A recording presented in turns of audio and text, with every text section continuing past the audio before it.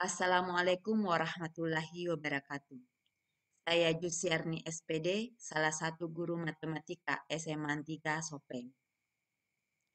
Di seri Semangat Guru 2 ini tentang kompetensi non-teknis pendukung implementasi kurikulum merdeka, saya akan berbagi pendapat dan pemikiran mengenai motivasi dan merdeka belajar sebagai salah satu bentuk refleksi akan materi pelatihan Semangat Guru 2.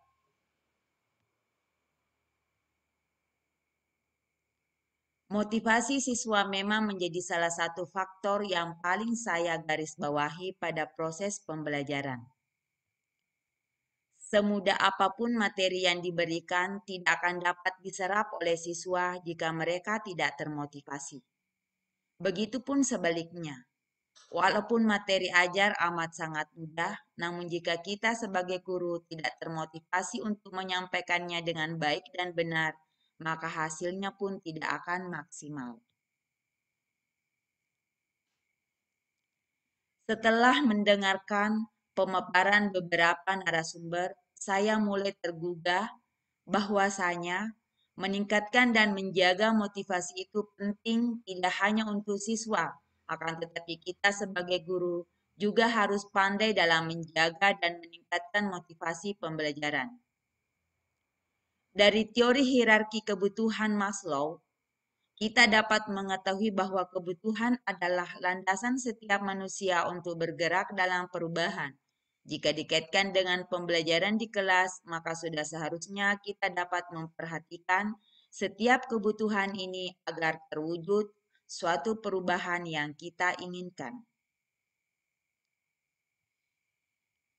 Dalam pelatihan semangat guru ini, ada sebuah aktivitas yang mana kita diminta untuk mengisi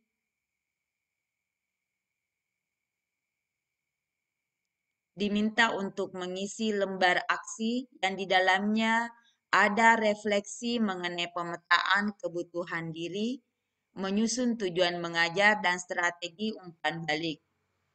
Hal-hal tersebut mungkin telah dan sedang kita lakukan saat ini, sehingga secara langsung kita dapat menilai hasil dan membandingkannya dengan indikator pencapaian yang disediakan.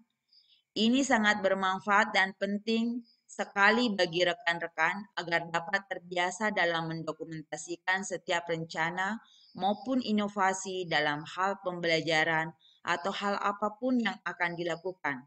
Dan yang paling penting, mengerjakan lembar aksi ini, kita dapat memetakan kebutuhan dan menyadari tujuan pembelajaran yang akan kita capai. Mengelola motivasi dan menerapkan merdeka belajar adalah dua hal yang akan sangat menantang untuk dilakukan. Jika kita berhasil melakukannya, maka keberhasilan pembelajaran kita bukanlah angan-angan semata. Namun, jika gagal melakukannya, janganlah berpasrah diri atau bahkan menyerah sama sekali. Teruslah berjuang dan berusaha, karena setiap perjuangan dan usaha pasti akan membuahkan hasil. Berikut ini tips agar dapat mengelola motivasi dan menerapkan merdeka belajar dengan baik. 1. Buatlah konsep dan rencana pengimplementasian. Segala sesuatu akan berjalan lebih terukur jika kita membuat konsep yang benar dan cara pengimplementasiannya yang sesuai. Oleh karenanya, janganlah lepas dari konsep dan rencana implementasi. Yang kedua, lakukan kolaborasi. Terkadang kita menganggap pemikiran kita adalah yang terbaik, namun setelah kita mendengarkan masukan dari banyak orang, maka kita akan dapat menyempurnakan pemikiran terbaik kita. Jadi lakukanlah kolaborasi dan terbukalah untuk setiap masukan. Yang ketiga, lakukan respon terhadap umpan balik. Umpan balik dan respon adalah dua hal yang masuk ke dalam siklus pengulangan. Karena di mana ada umpan balik, pasti ada respon yang harus di, diberikan. Dan jika tidak, maka siklus akan berakhir dan solusi tidak akan ditemukan. Respon harus diberikan bahkan pada umpan balik yang hasilnya sudah sangat baik sekalipun untuk mencegah adanya stagnasi dan tidak adanya evaluasi. Saya pikir cukup, saya akhiri. Assalamualaikum warahmatullahi wabarakatuh.